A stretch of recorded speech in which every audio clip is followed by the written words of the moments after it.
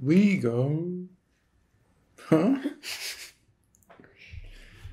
Olivia Rodrigo.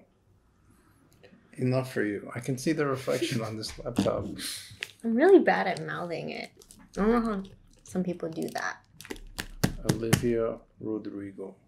This is our last Olivia Rodrigo From from, her album. album. Yep.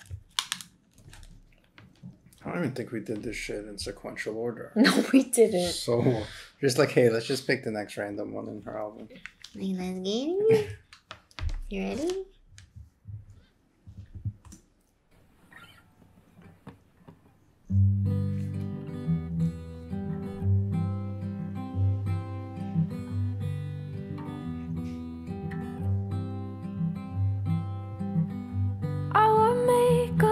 We dated Cause I thought you'd like me more. If I looked like the other prom queens I know that you loved before. Tried so hard to be everything that you liked Just for you to say you're not the compliment type I knew how you took your coffee and your favorite songs by heart. I read all of your self help books so you'd think that I was smart. Stupid, emotional, obsessive little me. I knew from the start this is exactly how you'd leave. You found someone more exciting the next second you were gone. And you left me there crying, you always say I'm never satisfied, but I don't think that's true.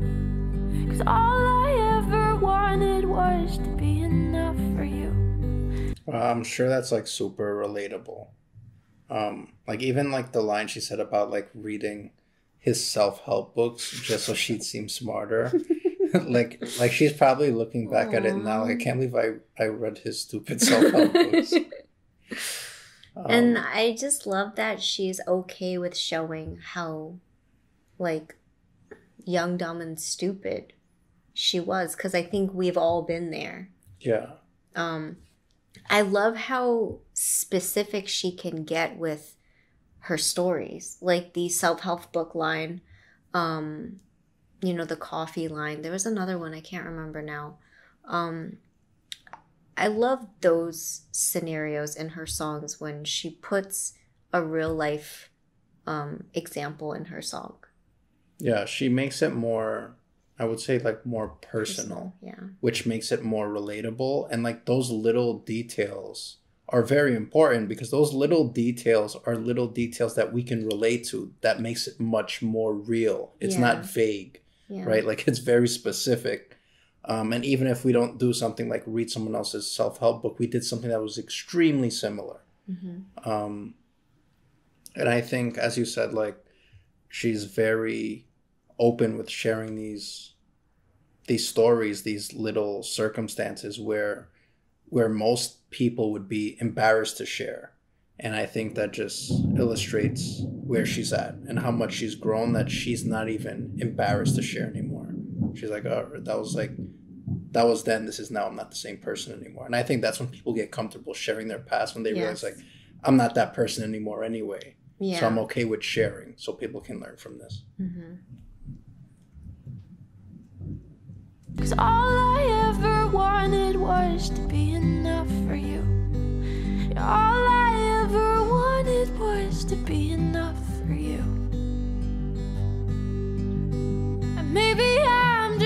as interesting as the girls you had before. But God, you couldn't have cared less about someone who loved you more. I'd say you broke my heart, but you broke much more than that. Now I don't want your sympathy, I just want myself back before you found someone more exciting. The next second you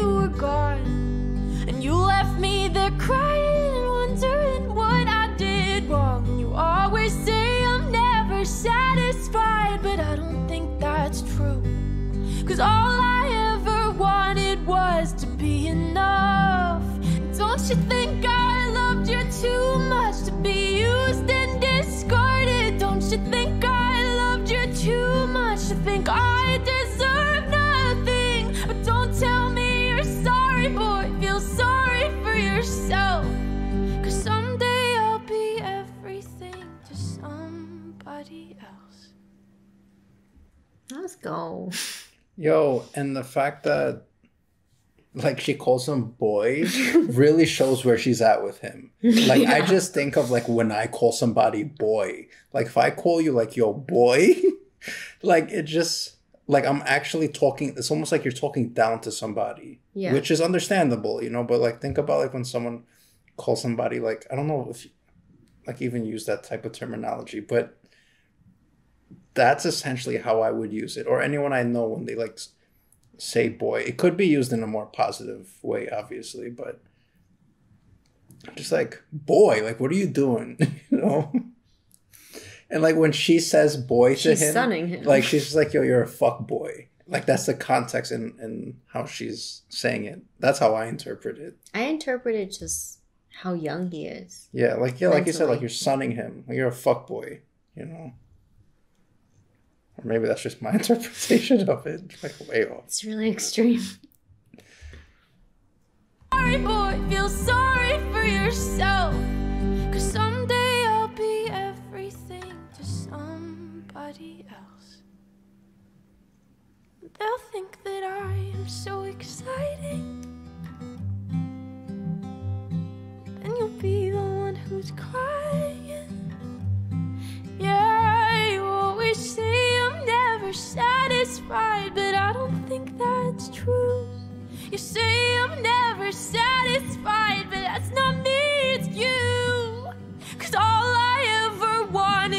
To be enough.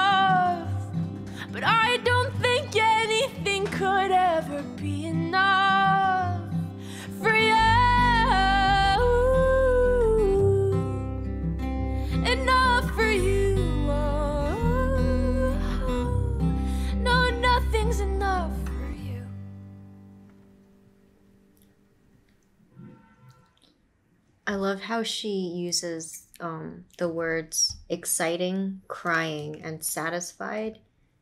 Two different scenarios. So, like, the first scenario is um, him not being excited or something like that. So, like, basically, what I'm saying is she she kind of turns the table using the same words. Um, and by presenting that she presents like over time you're gonna be the one that's like crying. I forgot what she says. Never mind. Let's go back. See? And then you'll be the one who's crying. Yeah you Yeah, you Yeah, always say I'm never satisfied. and then if you go all the way back she talks about how before you found before you found someone more exciting. so like just the way that she uses the same words deliberately but uses it in a way where it's like um just trading places almost Yeah, yeah. The way the way I understand it, as you say it, is like like he left her for someone more exciting, yet that same thing that it, that's exciting him, I think, is gonna be like what hurts him. Something like that, right? Is that what you're saying? I don't know.